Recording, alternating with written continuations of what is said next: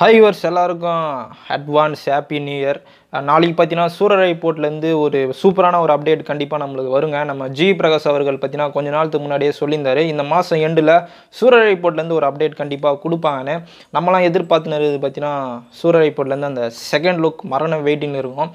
அதை விட பயங்கரமான ஒரு எதிர்பார்ப்பு என்னன்னு பார்த்தீங்கன்னா சூரரை போர்ட்லேருந்து அந்த first single track Maara theme song தாங்க. மாரா தீம் சாங் பார்த்தீங்கன்னா நம்ம சூரியனா வந்து ஃபஸ்ட் டைம் பாடியிருக்காரு. சும்மாலாம் இல்லைங்க ஒரு ரேப் ஸ்டைலில் பாடியிருக்காரு.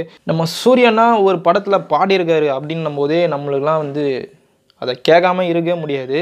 இதில் என்ன ஸ்பெஷல்லாம் பார்த்தீங்கன்னா நம்ம சூரியனை வந்து ரேப் ஸ்டைலில் பாடியிருக்காருன்னா அதை வந்து எப்படி நம்மளால் மறக்க முடியாதுன்னு சொல்லலாம். இதுதான் நம்ம சூரியனாவோட ஃபஸ்ட் டைம் ஒரு ரேப் சாங்னே சொல்லலாம்.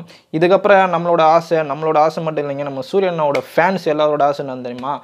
நம்ம சூரியனா தொடர்ந்து எல்லா படத்துலேயும் ஒரு பாட்டு கண்டிப்பாக ஃபேன்ஸுக்காக பாடியே ஆகணும் அப்படின்னு சொல்லிட்டு ஃபேன்ஸ்லாம் ஆசைப்படுறாங்க. அது மாதிரி ஒரு விஷயம் நடந்ததுன்னா ரொம்ப ரொம்ப சூப்பராக இருக்குங்க. அதுக்கப்புறம் பார்த்தீங்கன்னா பொங்கலுக்கு வந்து டீசர் வரப்போகுது. அது நம்ம முன்னாடியே நம்ம எல்லாருக்குமே தெரிஞ்ச விஷயம்தான்.